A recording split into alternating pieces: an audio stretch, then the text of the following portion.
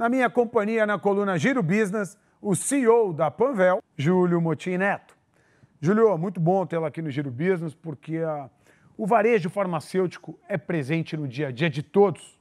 Quero fazer uma pergunta que abraça toda a cadeia produtiva: insumos, indústria farmacêutica, o varejo farmacêutico e os clientes. E, claro, a logística que envolve todo este processo. Como o setor vem trabalhando, somado à sua cadeia produtiva, no que tange a superação das adversidades do ambiente Brasil, um ambiente hostil, onde a logística é difícil, a carga tributária é alta, a burocracia é grande e assim por diante. O brasileiro, na verdade, é, é um empresário, vamos dizer assim, que se adapta muito bem a ambientes hostis. Né? Eu acho que é uma característica nossa, Resiliente. essa resiliência, essa criatividade, esse jogo de cintura. Eu vejo que hoje eh, a cadeia farmacêutica brasileira ela virou referência para o mundo.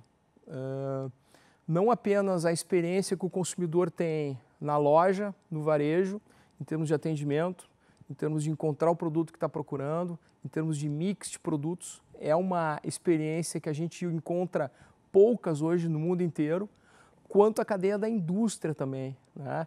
que se abastece muito de insumos importados, é verdade, Durante a pandemia, inclusive, tivemos problemas de abastecimento da Índia, da China, porque muito dos insumos vem de lá, mas é uma cadeia altamente eh, moderna, que, que tem uma automação muito grande e que tem hoje, o Brasil hoje, eu diria para você que sem dúvida nenhuma que possui produtos genéricos de altíssima qualidade. Né? Então, toda essa competição, toda esse, essa criatividade, toda essa adaptação, no fim do dia, ela vem para valorizar e para trazer para o consumidor final uma experiência cada vez melhor. E na farmácia no Brasil, uma experiência muito boa. Legal, Júlio. Eu fico feliz de promover uma agenda tão positiva no que tange os elos que compõem a cadeia produtiva farmacêutica e, por fim, a eficiência de toda ela. Na minha companhia, Júlio Motim Neto e é com ele que eu sigo durante toda a semana representando o setor farma.